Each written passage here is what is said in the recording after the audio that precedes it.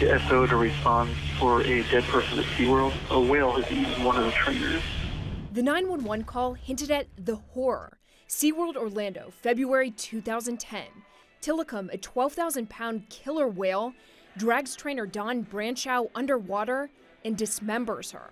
He never let go of the uh, The arm? the arm. He swallowed it. He swallowed it. More than three years after that awful incident, a new documentary is out that looks into her death and questions SeaWorld operations. What happened to her really could have happened to anyone. Blackfish claims Brancheau's death wasn't an isolated incident, The Tilikum was involved in the deaths of two other people before her, one prior to SeaWorld owning the whale. Documents other frightening moments at SeaWorld involving different orcas. Both whales took turns dragging her under the water. It shows how dangerous it is. John Hargrove and Jeff Ventre are among the multiple former SeaWorld trainers who speak out in the film.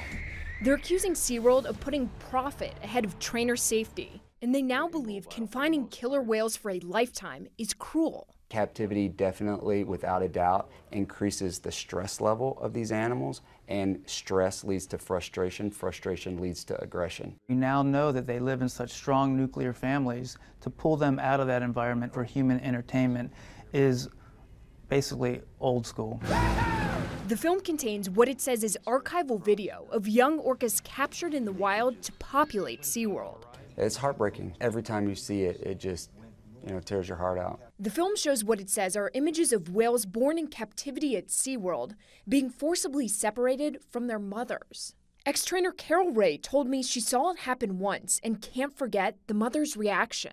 the screaming and crying that she did by herself in the pool that, that night.